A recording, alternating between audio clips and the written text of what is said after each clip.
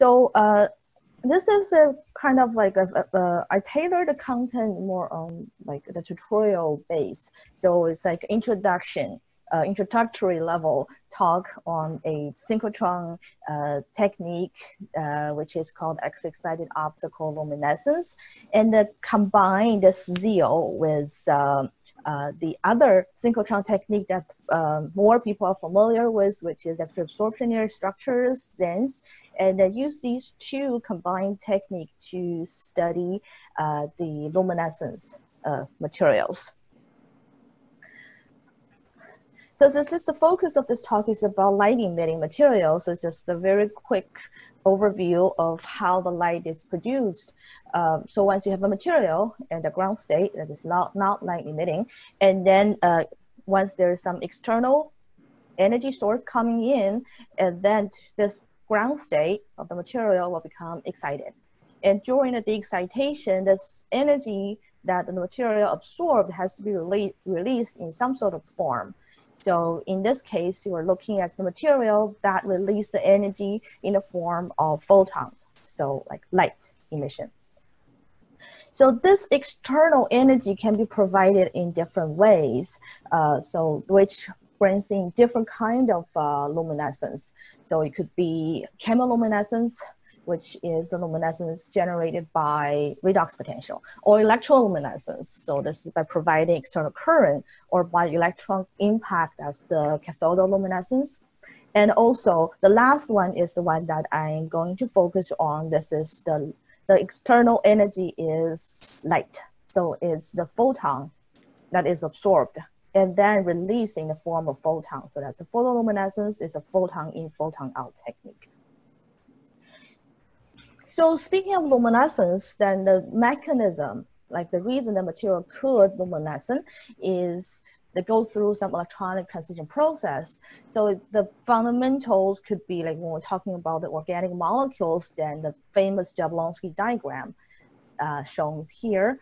And then, so this is what people are dealing with, the electron transition. So like the, um, either through fluorescence or phosphorescence, that's the process that gives off photons. Or if you talk about semiconductors, then instead of having molecular levels, then you have the band structure. So you have an incoming photon that excites the energy, uh, excites the electrons from valence band to conduction band to create a electron hole pair, and then it will combine to give off luminescence. And sometimes for semiconductors, if there's structure defect or um, like donor states or acceptor states, and then the photon emitted, in this case, it will be slightly less than the energy of the band gap. So if it's in this case, then it will be similar. And if there's impurities in the donor state, acceptor state, then it will have uh, the photon energy will be uh, smaller than the band gap. And sometimes when you have an even more complicated case is that when you combine these two pictures together, and then when you have a semiconductor with impurities like with dopant or color centers, so talking about electronic transition, uh, recombination between conduction band and uh, valence band, and then there's tr electronic transfer involving this molecular like levels. So luminescence can be quite complicated. So we want to understand the like which electron trans which transition processes give off the uh, the luminescence. And in the materials like if you have a material mixture um, then what is the ingredient? What is the composition of the material that is giving off luminescence? So based on this picture I bring this most complicated case here. So uh, in order to produce luminescence, the excitation source needs to have the energy higher than whatever photon that is emitted. So in this case, since we're talking about the visible luminescence, so then uh, if the photon energy is high enough to like go beyond visible, so in most cases, it's a UV light should be sufficient. So this is why in uh, like photoluminescence spectroscopy is quite common. That can be set up in a lab. So you just bring in a UV source and then it, the energy is sufficient to promote a HOMO-LUMO transition or valence electron to conduct valence band to conducting band transition, that you will see the luminescence. Then here's the question. So if UV is already sufficient to produce a light emitting process, then why we need to bother with X-ray excitation, right? So this is the X-ray excited optical luminescence, like why bother, right? So the the X-ray, using X-ray as excitation source, so XEOL is looking at the luminescence generated by a slightly different process. So the key difference is actually the excitation, the, the electrons that are being excited is different. Using UV source, uh, the excitation is valence band or the HOMO electrons. By using XEOL, you're able to go into the higher energy so that you have the energy high enough to excite the core electron. So in this case, once the core electron is excited, and then you're looking at several de-excitation processes. For example, here you have the Auger process, you have an electron going from the shallow level, and then to fill this core hole and leaving a hole at a shallow level, like an upper level. And then this energy is released and then could be reabsorbed by another electron and then to kick out into the conduction band. So there's another hole left behind. So there's the Auger process. So as this process going on could continue, right? And then this hole originally started at the deep down core level could get could be brought up all the way to the top of the valence band. So during one excitation, you bring the core hole up to this valence band hole so that this is this process is initiated by this core electron excitation. Ultimately, you have the recombination between the conduction band and valence band electron. So similar to the UV excitation. But the only difference is that so although you might see the same outcome, you see the same color of the light, but the production of this electron hole pair, the mechanism is different. And how different is that? Is that this generation of the whole pair is linked to the excitation of a particular core electron. So the so this is linked to the absorption process, so, which means that if the XEOL is collected during an excitation process, the core electron excitation process, then the luminescence that you detected could be related to that particular element or the particular ed edge energy that you excited or the particular site. So it's like you're looking at a localized, so the luminescence from a localized, from a specific channel. So that's the difference. So I'll, I'll talk about the example, like how to do this. So the XEOL is usually done with the XANES. So this is the typical setup for XANES in a yield spectral form. So it could be uh, acquiring a, the fluorescence yield or the total electron yield by looking at the fluorescence, X-ray fluorescence from the sample or electrons from the sample. And then these two, one is bulk sensitive, the other is surface sensitive.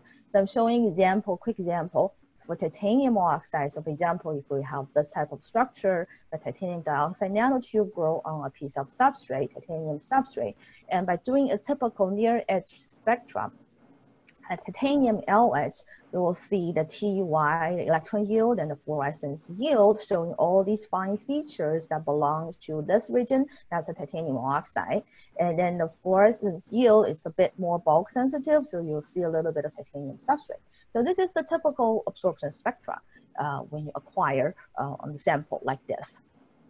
And for XEOL, what you, on, you only need to do is to add a spectrometer that could collect optical photons, right? So it's additional attachment. So by while doing XANES, you can collect the XEOL at the same time. So XEOL could be collected in two ways. One is to measure the luminescence spectra at a particular excitation energy. So this is the spectra on the left, bottom left, is a, a several XEOL spectra.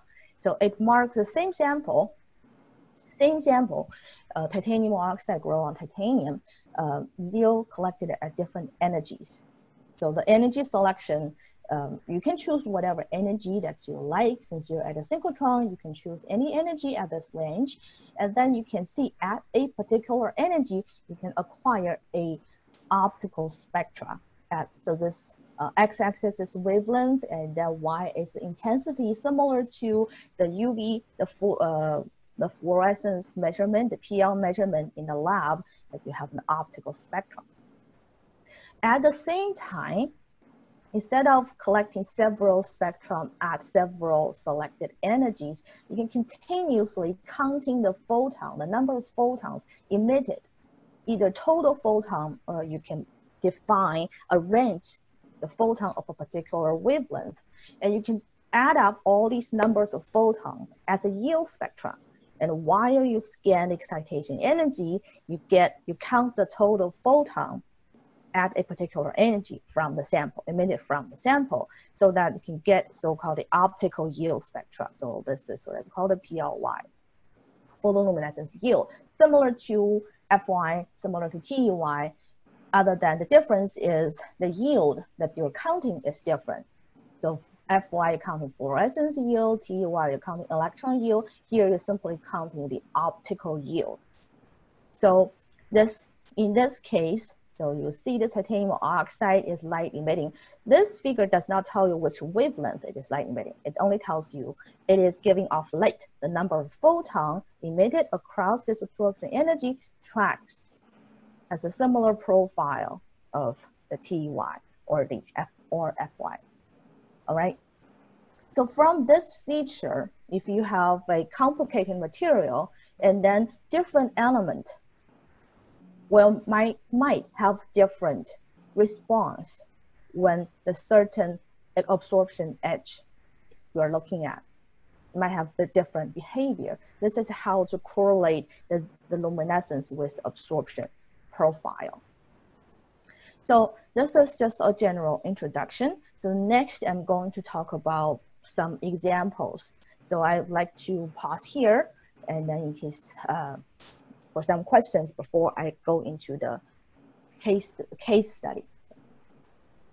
Thank you. It's great to have that uh, that background material. Um, one question for you: in the model you had for the core hole propagating uh, uh, up into the uh, the valence band, um, uh, there's an assumption there of a really strong locality.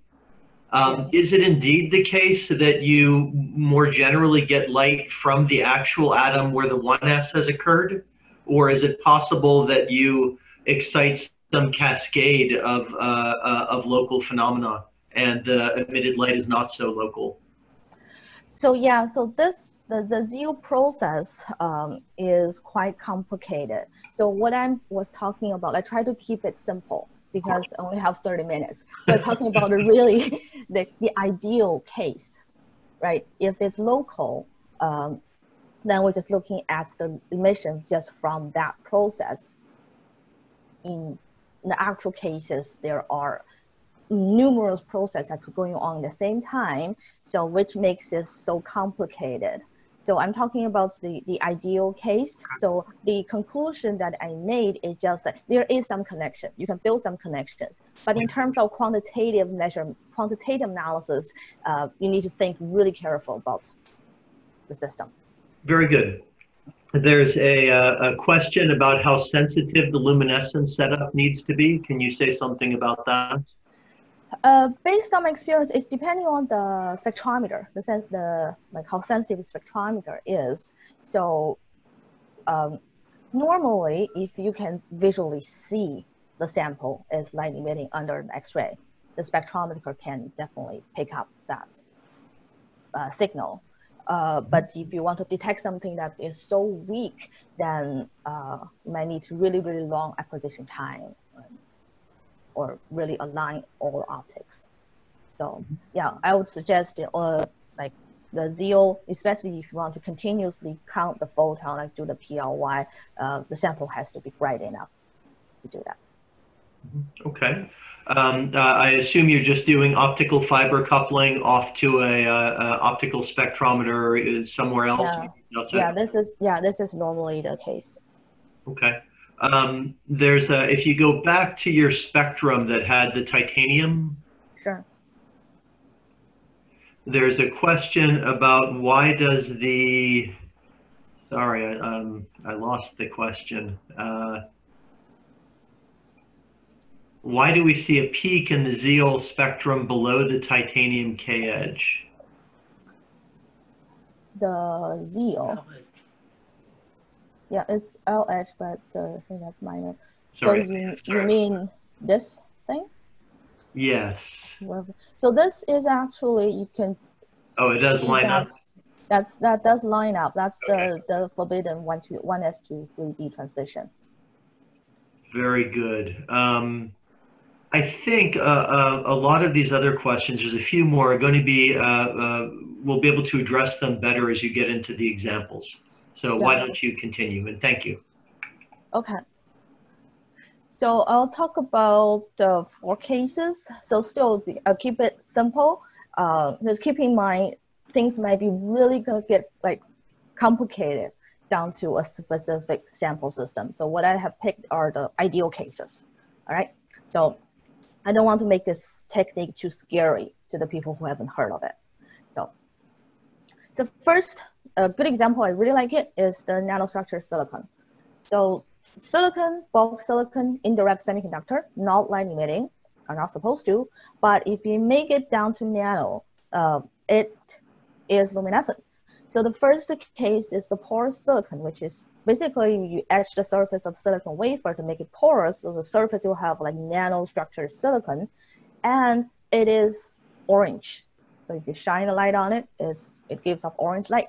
So the question is, it is because of the nanosilicon, the quantum confinement, or is simply uh, uh, the native oxide layer, so which is the insulator. You have very you have many defects in there that happen to have a, an uh, emission, uh, optical emission at that wavelength.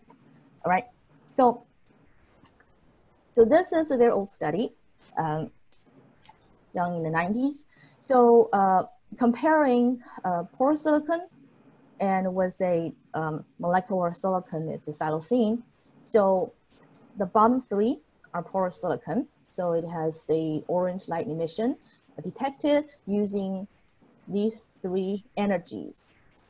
And then the siloxene also some light emitting uh, peaks at different wavelengths and three different uh, excitation energies. So the first observation here is that the intensity is different, right? So at if you look at particular, like just focus on porous silicon here, uh, as the the incoming light, the energy changes, the intensity changes, and it does not always follow the higher energy, higher intensity.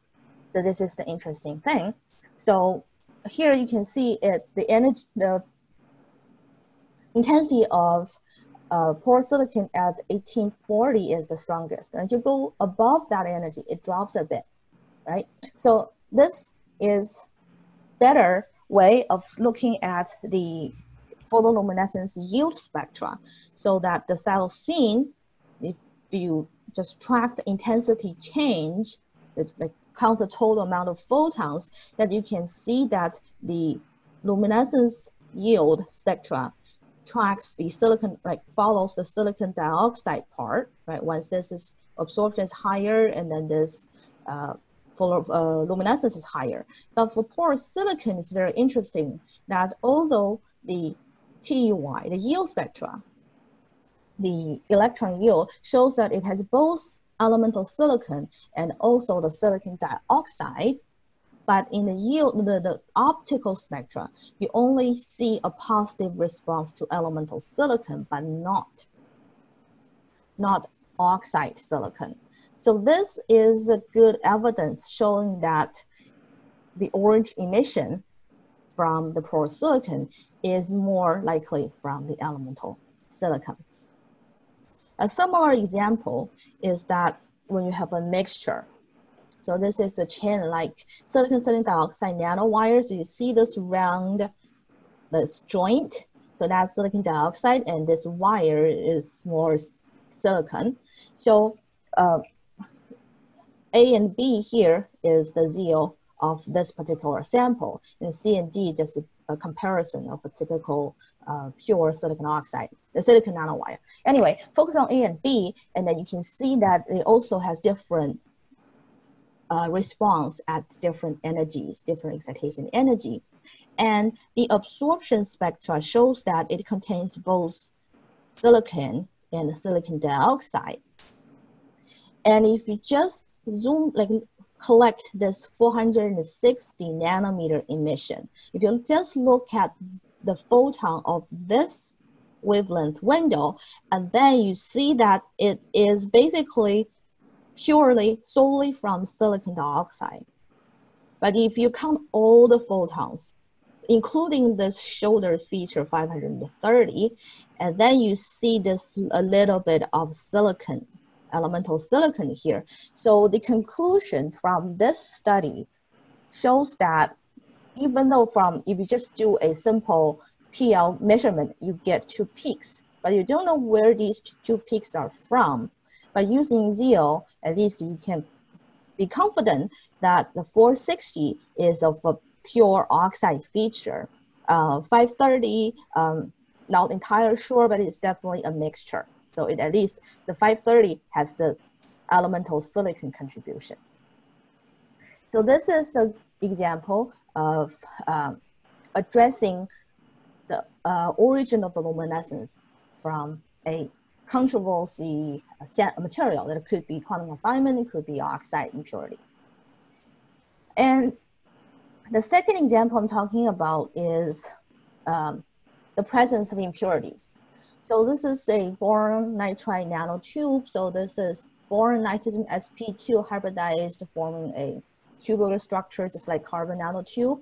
Uh, but instead of the pure boron nitride, uh, some of the nitrogen is, is replaced by oxygen. So we have this oxygen purity in there. From absorption, it clearly shows that it contains both the uh, boron nitride feature and also the boron oxygen feature.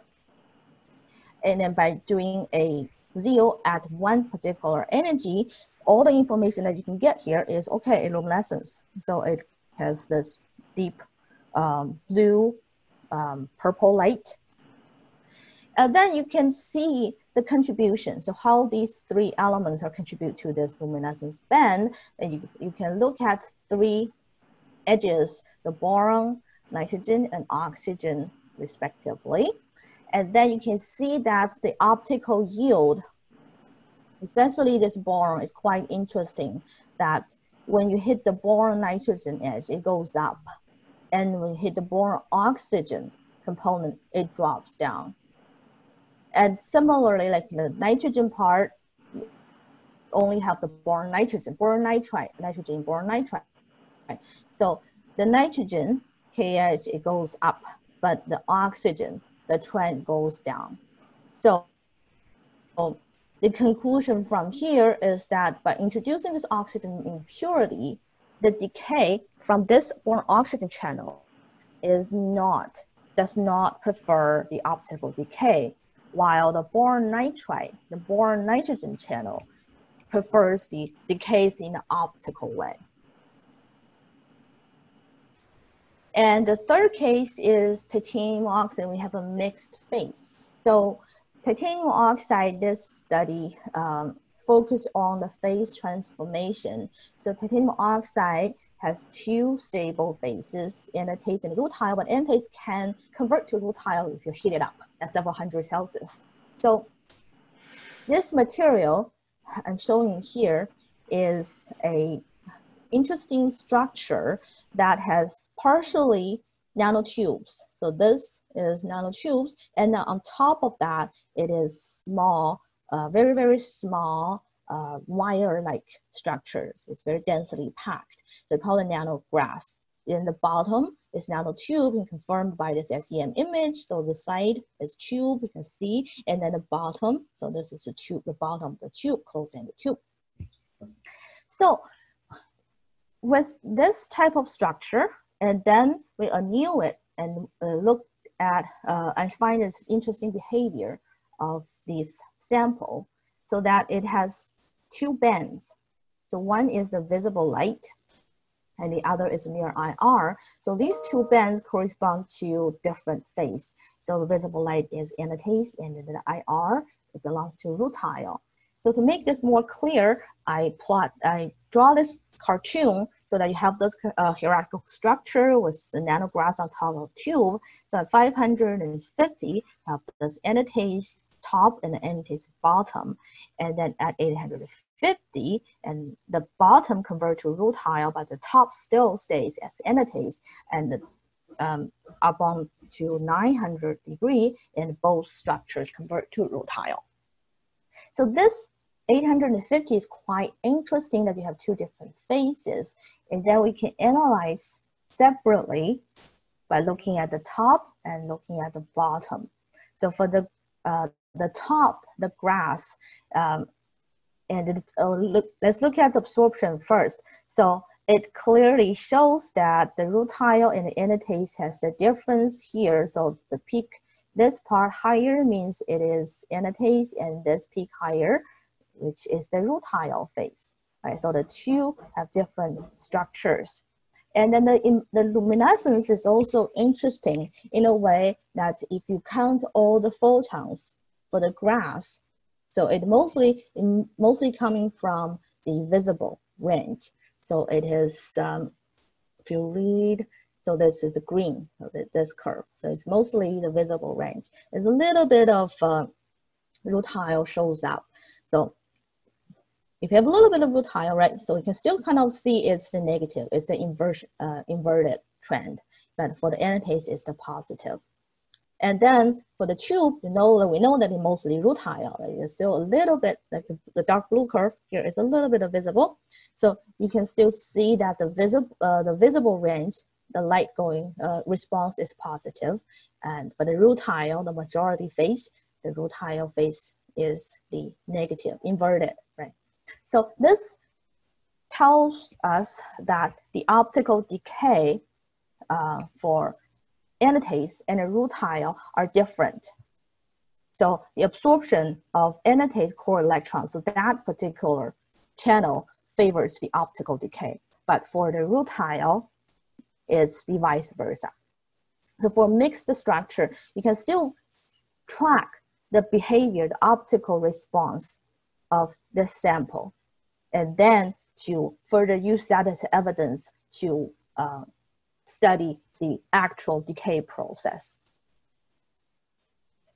And the last example uh, I'm here showing is a doped structure, right? So before we're talking about the impurity, like more like a mixed, comp mixed composition. So here is the, a doped structure.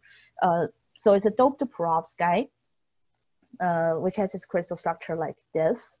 And uh, this dark blue, which is the lead, so if it's just pure lead, so this blue curve, it is a, a weak light emitting blue solution. And once you replace the lead with manganese, and it's changed from a blue to a very bright light emitting orange yellow solution because of this manganese DD transition here. So this is a very interesting observation and we're trying to figure out uh, the electron transfer during this process. So what we did is we compared two samples. One is non-doped and the one the other is doped with 3.5%. So um, we're clear uh, two bands. The doped sample has a blue band, has an orange band. And then we select the, the manganese edge, so manganese L edge, and uh, at different energies. And we see some intensity change so we so this is the case that we don't have a very bright light sample because it's nanocrystals. So the amount is small, so the concentration is low. So we uh, we couldn't collect enough like bright enough signal to do a continuous PLY scan. So we only being able to select certain energies and then to, to track the change the, the change in the intensity. So we we plot the intensity change as a function of excitation energy, we see that both the blue band and the orange band shows a decrease once the absorption of 2p, manganese 2p happened. And that a further analysis is that this blue band can be deconvoluted into two sub-bands. And if you monitor these two bands, the behavior of these two bands closely, you will see that the one emission is basically not sensitive to the excitation energy, while the other decreases as the energy once it hits the absorption. So it's similar to this orange. So from this analysis, we can tell that at least for this uh, doped perovskite, there are three luminescence, luminescence channels. Right, in the blue, there are two components. One is excitation energy independent, the other is depending on what energy you're looking at. And in the orange, like the orange band is excitation energy dependent. So this probably needs some time to explain. Uh, so this is compare the, um, the electronic transition process below the edge and above the edge. So the difference below and above the manganese edge is who took the most incoming photon, right? So below the edge, we're assuming like everything is absorbing, like a lot, all the electrons absorbing, uh, well, all the electrons above that uh, manganese 2p, they're absorbing light, they're absorbing photons. So it's basically a constant background, constant transition, right? So looking at the energy transfer that finally down to this manganese band and then the, the perovskite band. So the blue emission is related to the perovskite band gap. And this orange emission is the additional band that is introduced by introducing the manganese. So this is below. And once at the absorption edge, the incoming photon will have a redistribution. So now manganese takes most of the photons to make the transition local, uh, particular to this site, this element. So once this transition happens, what we see is that we don't, we see a drop uh, of this band. We see a drop of one of this perovskite band. So this means that the manganese channel is not responsible, so does not facilitate an efficient manganese emission. So in other way is that the manganese, you cannot just directly promote the electron from the manganese 2p to this particular manganese related energy level. So this is a, uh, you have to, so this has to go through a lead up to valence to conduction, and then this energy transfer has to start from the conduction band. So this is kind of the evidence proving the electron transfer process of this doped uh, material. All right, so uh, here are the examples, uh, and then this will be my second pause, and I'll uh, just a very little material left. Um, oh, so okay. Yeah, there's definitely questions. Excellent. I know, I know. Um, so let me uh, wrote them down. Here we go. I need my glasses to be able to read it. Okay. Uh, first one is what's the typical uh, measurement time to get an XEOL spectrum at one photon energy? Uh, so depends depending on whether the material is bright enough. So if it's bright, uh, bright means you can see it you can see it, uh, and uh, I would say 30 seconds, you get good, good result. And for the ones that are weak, so you, like, you really have to look at the screen to try to find the light spot. Uh, you can go up to two minutes. Uh, beyond that, uh, you're increasing the noise ratio as well. So. I see. I see. Okay, good. Um, has there been much work to try to combine XEOL with STXM yes, there is. Uh, there is work on that, but the tricky thing is the intensity of the light, right? This is very, this is something that uh, people are trying to achieve, but uh, for as soft X-ray, the STXM, um, everything brings too close to to each other, so that uh, it's very difficult to jam in another optical lens to collect the emission from a single nanostructure.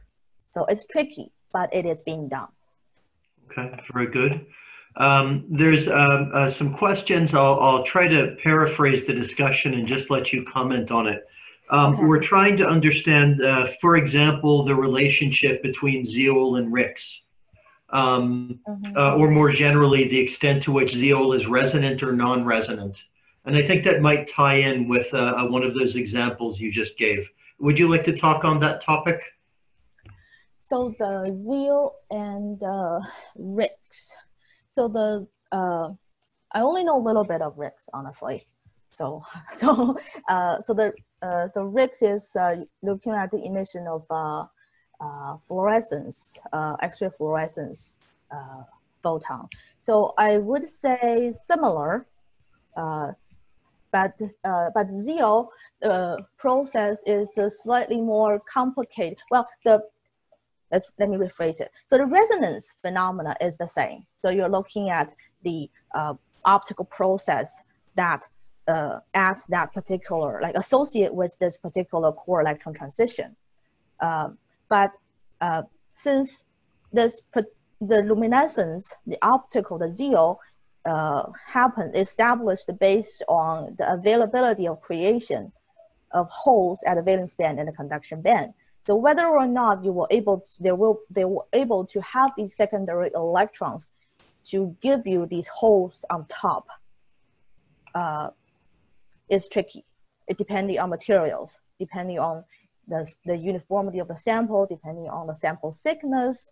Uh, so I think that is uh, the difference between the XEOL and the, mm-hmm. the RIXS. Mm-hmm.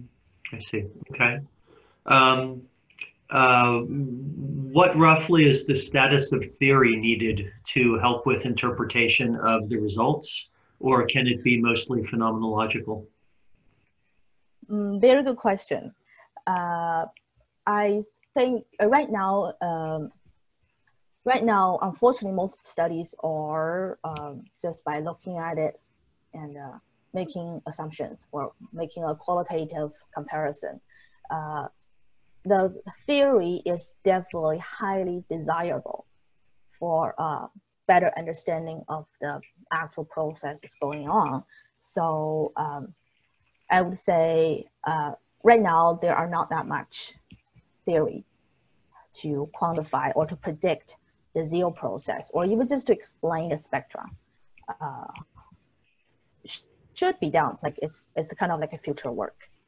I see. Okay. Um, okay. Uh, then why don't we let you continue? And I'm sure there'll be more questions at the end. Okay.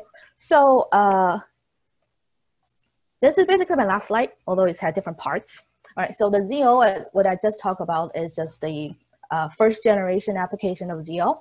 So um, you acquire uh, XANES and then you acquire optical signals and then you combine them and analyze what happens with your sample. So, uh, so synchrotron technology is developing, so there are advanced uh, applications of XEOL. So the more things you can do with XEOL.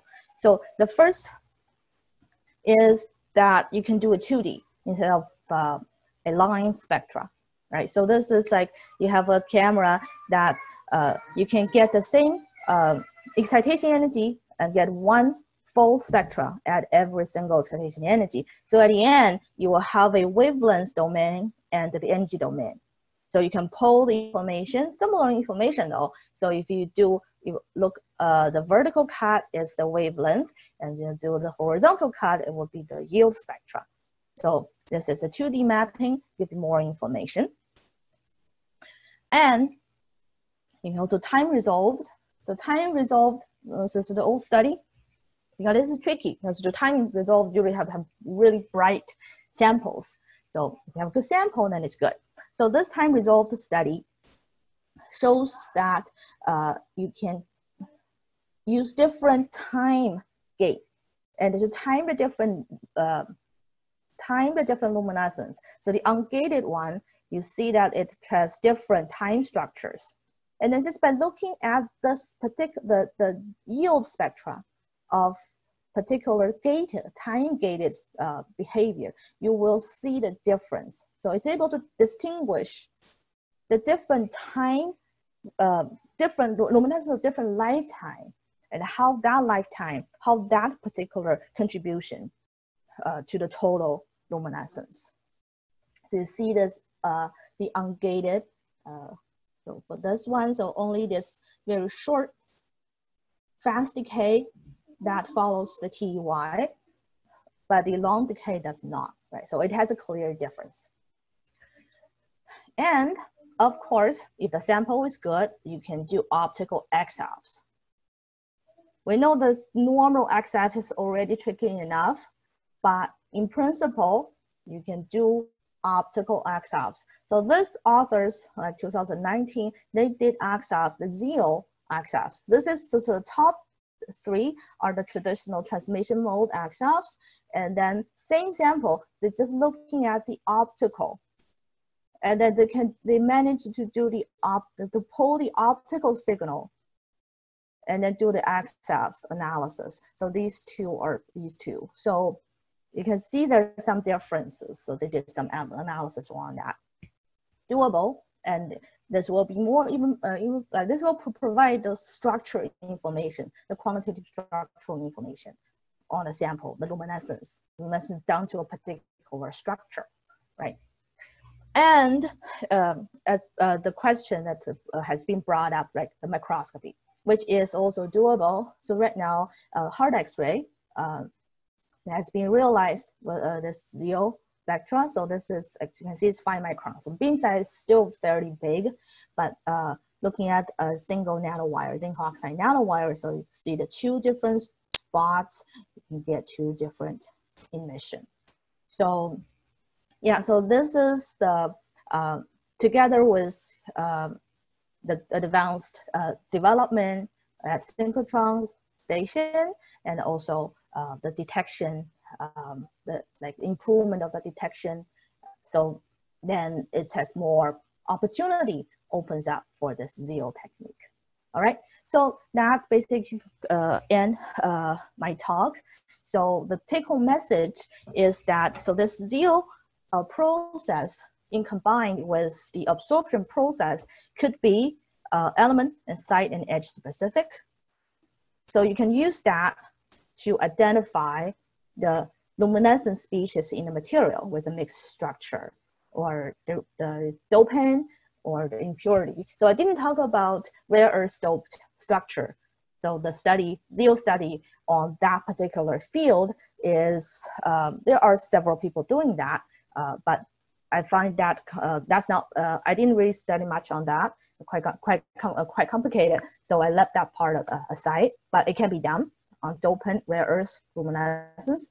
Um, and also to uh, provide you with the future opportunity of using XEOL in combined with the advanced spectroscopy probes. So that's the end of my talk. So thank you everyone for listening and yeah, questions, there more. Definitely, thank you. That was uh, uh, that was really fascinating. Um, uh, one question that came up had to do with uh, using temperature dependence of the sample in mm-hmm. XEOL. Can you yeah. talk about how that might uh, modify luminescence in a way that using the XEOL could tell you more about microstructure? Uh, optical optical XEOL, uh, I I haven't done that um, personally, uh, but I think uh, if you manage to cool down, then uh, you're optimizing the uh, the resolution of the spectra because uh, you cool down the, the uh, remove the vibrational mode so that you could you could, you could get good EXAFS and you can get maybe higher resolution XEOL. So I think it's promising. Um, it's definitely worth trying. Uh, temperature dependent, you mean, yes? Temperature, yeah, uh, yeah, temperature, uh, I mean the going to the low temperature side. The going high temperature, yeah, yeah.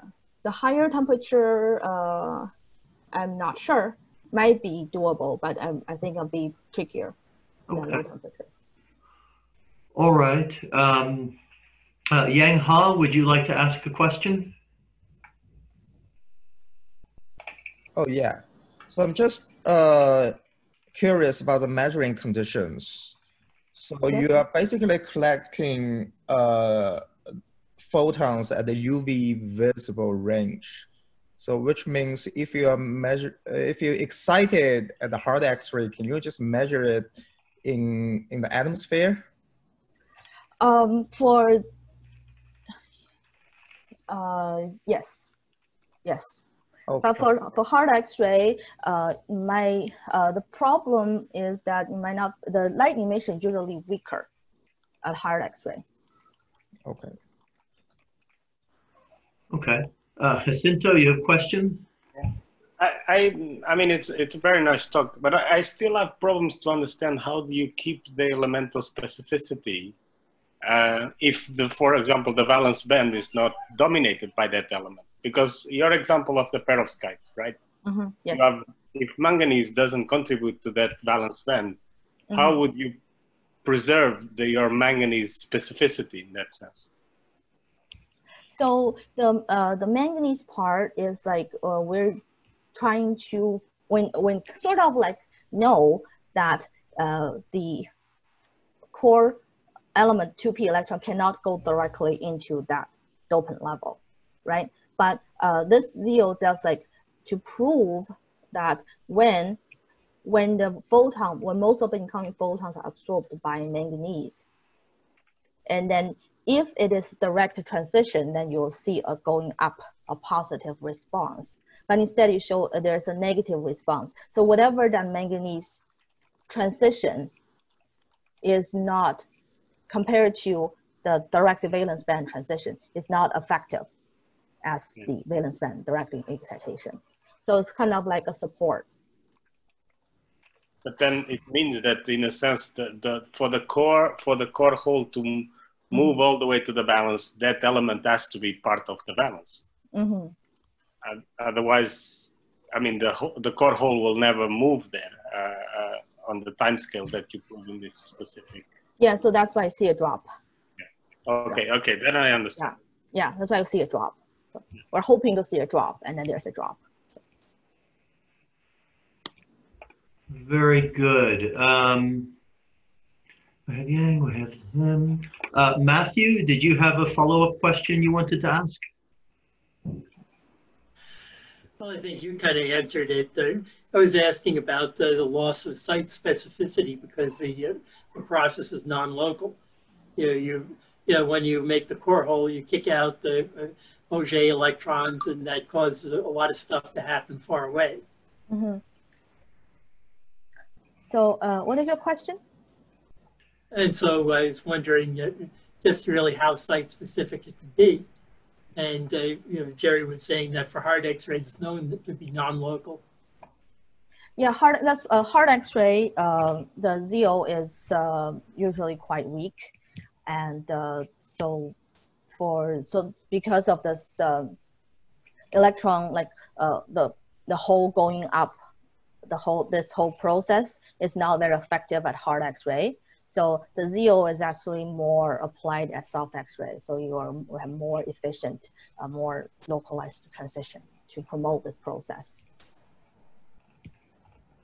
Right, but that wasn't really the question. The question was about the about how site specific it is, either hard or soft.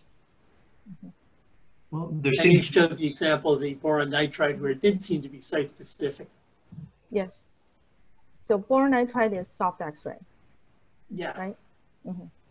How often, uh, I'll follow up on this, Matthew. Okay. Uh, how often do you try to do a uh, XEOL measurement with soft x-rays and end up concluding that your measurement is not local?